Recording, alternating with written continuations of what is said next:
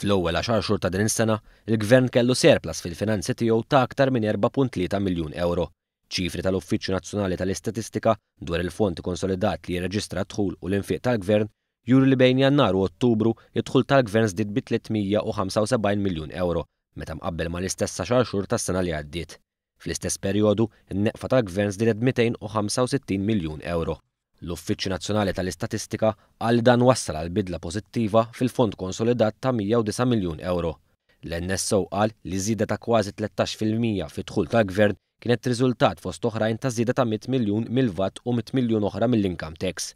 Kienet irreġistrata żieda wkoll ta' ftit anqas minn 57 miljun mill-bolla u anke mill-għotjiet b' 21 miljun ewro. L-infiq tal-Gvern żdied madwar 200 miljun fi programm u inizjattivi u fi proġetti kapitali, b'dawn tal-aħħar jiżdiedu b'aktar minn sitt miljun u nofs ewro, biex tela' għal 237 miljun ewro. L-Uffiċċju Nazzjonali tal-Istatistika jirrapporta wkoll li l-imgħaxxijiet fuq id-djun niżlu b'aktar minn ħames miljun ewro, meta mqabbel mal-istess perijodu tas-sena li għaddiet. L-istatistika wriet ukoll tnaqqis fid-dejn tal-Gvern ta' madwar 74 miljun ewro meta mqabbel mal-istess perjodu tas-sena li għaddiet.